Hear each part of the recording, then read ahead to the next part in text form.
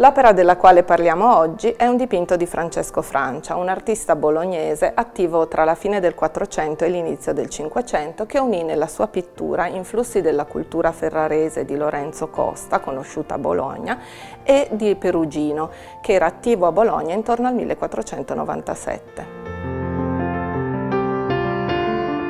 Questa tavola di Francesco Francia con la Madonna, il Bambino e San Giovannino era parte della collezione di Paolo Tosio.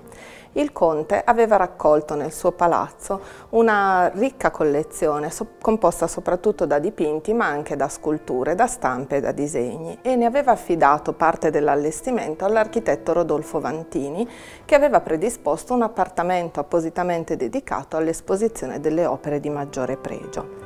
La tavola di Francesco Francia era sicuramente fra queste, poiché incontrava il gusto del conte e dei suoi contemporanei, un gusto che tra gli artisti viventi prediligeva i neoclassici e tra gli artisti antichi quelli che avevano saputo dare corpo a quegli stessi ideali di bellezza e di purezza incarnati dall'arte neoclassica.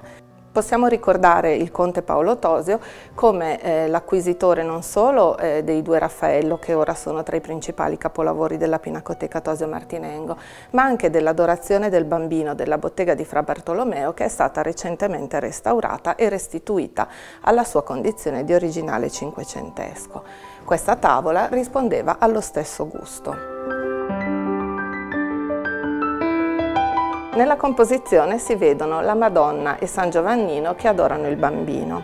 San Giovannino è inginocchiato su un libro chiuso, da intendere probabilmente come l'Antico Testamento, superato dalla nascita di Cristo. Il bambino infatti è seduto in una posizione da maestro e tiene tra le mani un libro aperto da riconoscere come il Nuovo Testamento.